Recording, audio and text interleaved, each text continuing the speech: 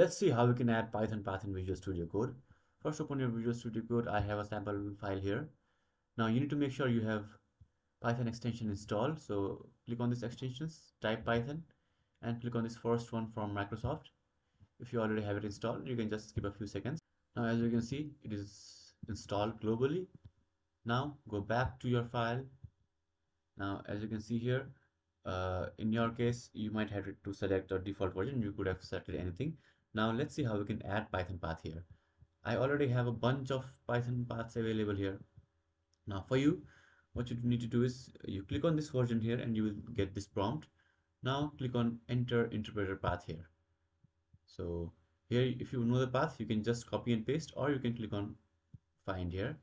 Now in windows by default your python version is installed in your c drive inside users inside your username folder and go down.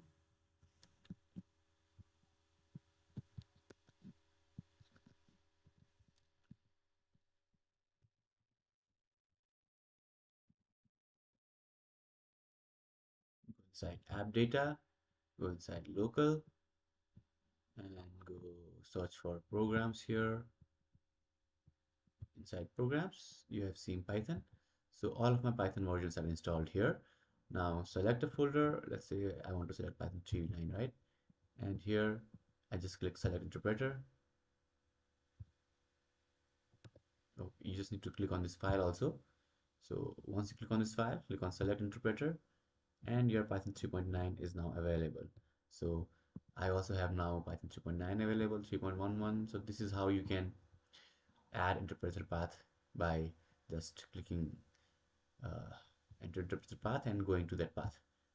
So if you if you don't know where your python is installed you can just try opening your explorer and searching for python here. Python.exe here. Now it will search for all the python.exe files as you can see here.